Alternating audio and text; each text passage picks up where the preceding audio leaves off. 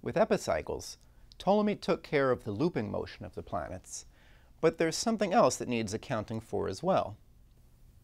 Let's watch Mars over many years and see what the loops look like over time.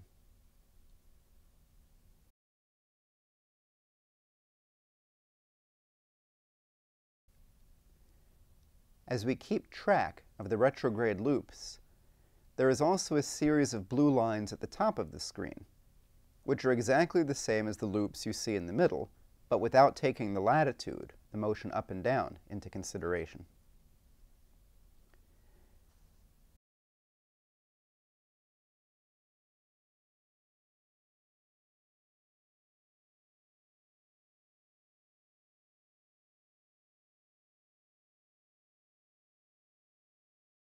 As we watch, we see that there are different regions of the ecliptic where Mars behaves differently. There's one region in which Mars moves faster and makes smaller loops when it loops there, and another region where it moves slower and makes larger loops. How can this be explained?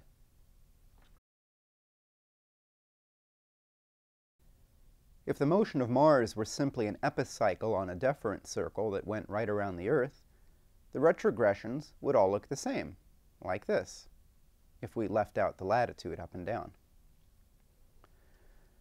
So to account for the different speeds in different parts of the orbit, Ptolemy first tried moving the deferent off-center from the Earth. That way, the part of the orbit near the Earth would appear faster to us watching. In this animation, there are eight positions to make it easier to see the orbital motion as a whole. Here, the red lines are the apparent positions, as seen by the Earth, as they appear to us. And as you can see, the angle on the left, for the motion over a couple of months, is much larger than on the right, for the same amount of time. Now, let's watch the changes in the map of retrogressions to see where this gets us. As you can see, it does cause the retrogressions to bunch up more in the right places, but the widths of the retrogressions are off. So, Ptolemy made a second adjustment to the deferent. He split the center in two. There would now be two centers, a center of distances and a center of motion. The planet, or rather the center of the planet's epicycle, would move in the shape of a circle around the center of distances. But its speed would be determined by moving at a constant angular rate around the center of motion. This center of motion was called the equant. Let's watch this transition a few times. The angles of the blue lines from the equant remain 45 degrees apart, but the planetary positions change as the white circle they are on moves, which then changes where they appear to be as the Earth watches them.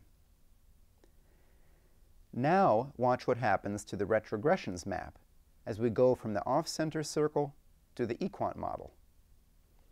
This looks pretty close to the observations.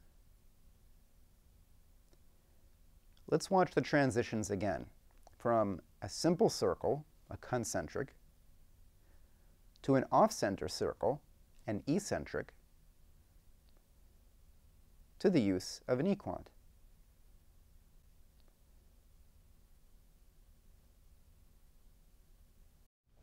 So now the planet, or rather the center of the planet's epicycle, would move in the shape of a circle around the center of distances, but its speed would be determined by moving at a constant angular rate around the center of motion.